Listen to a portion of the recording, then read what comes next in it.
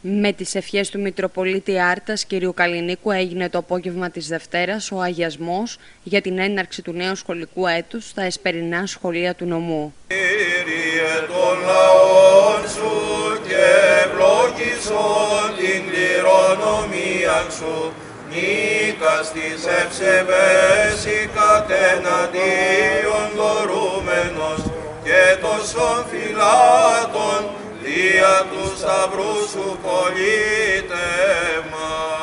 Σώσον Κύριε των λαών σου και ευλόγησον την κληρονομία σου νίκα στις ευσεβές κατεναντίον δωρούμενος και τόσων φυλάτων δια του σταυρού σου πολίτευμα.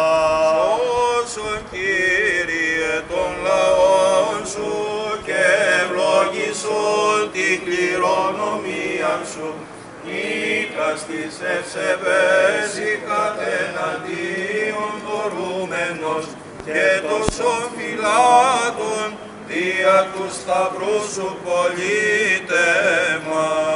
Η σημερινή ημέρα που είναι η έναρξη των μαθημάτων, αλλά ταυτόχρονα είναι για την εκκλησία και ύψωση του Τιμίου Σταυρού, η σημερινή ημέρα να είναι η απαρχή για καινούργιους αγώνες, προκειμένου με αυτόν τον τρόπο, όπως ο εσταυρωμένο Ιησούς Χριστός, έτσι και όλοι εμείς, να μπορούμε να γινόμαστε υπηρέτες και διάκονοι των συνανθρώπων μας. Φέτος, μάλιστα, και ιδίως εσείς που θα φοιτήσετε εδώ στο σχολείο, φέτος κυρίως πρέπει να δείξουμε αυτή την υπευθυνότητα της προς τους άλλους αγάπης. Και αυτό γίνεται όταν τηρούμε τις οδηγίες αυτών που είναι ειδικοί για τα θέματα της πανδημίας. Εύχομαι σε όλους καλή πρόοδο, ο Θεός να σας ευλογεί, να σας αγιάζει και να σας χαρίζει ό,τι αγαθό η καρδιά σας επιθυμεί. Στον αγιασμό παραβρέθηκε η Διευθύντρια της Δευτεροβάθμιας Εκπαίδευσης κυρία Χαμπιλωμάτη και ο Αντιδήμαρχος Αρτέων κύριος Χαρακλιάς. Με τις ευχές της Εκκλησίας όπως είδαμε πριν λίγα λεπτά σας καλωσορίζουμε και φέτος στο χώρο των εσπερινών ε, σχολικών μονάδων. Όλοι βλέπουμε και ακούμε το τελευταίο καιρό, γι' αυτό αργήσαμε και λίγο αργότερα.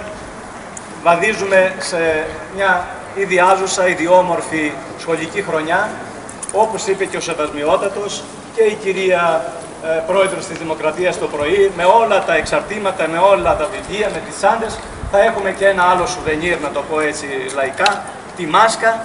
Θα πρέπει να τηρήσουμε τις οδηγίες για να προστατέψουμε και την υγεία μας και την υγεία των ε, διπλανών μας και την υγεία των οικογενειών μας και όλοι προσευχόμαστε, προπάντων οι πιστοί άνθρωποι, χριστιανοί είμαστε, να βοηθήσει ο Θεός και με τη δύναμη του Τιμίου Σταυρού σήμερα που είναι μια μεγάλη γιορτή για τη χριστιανοσύνη, να μην έχουμε κρούσματα στον χώρο των σχολείων, να πάνε όλα καλά όπως λέμε και να φωτιστούν οι επιστήμονες και να βρούνε το εμβόλιο. 14 Σεπτεμβρίου ξεκινάει η νέα σχολική χρονιά.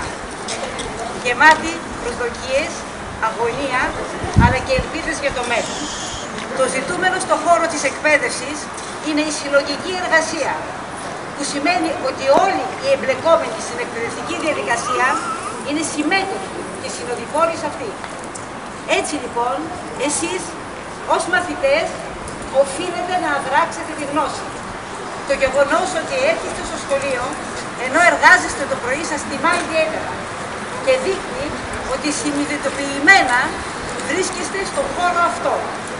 Ευκαιρία λοιπόν να αποκτήσετε περισσότερες γνώσεις πλουσιότερη εμπειρία να αναπτύξετε τις δεξιότητές σας. Από την άλλη, οι συνάδελφοι εκπαιδευτικοί με τη γνώση που διαθέτουν και την όρεξη για το έργο οφείλουν να συμβάλλουν στο να δημιουργήσετε όραμα, στο να σας αναπτύξουν τη διάθεση για έμπνευση, έτσι ώστε να διεκδικήσετε τα όνειρά σας, να μπορέσετε να τα υλοποιήσετε και να αυτοβελτιωθείτε.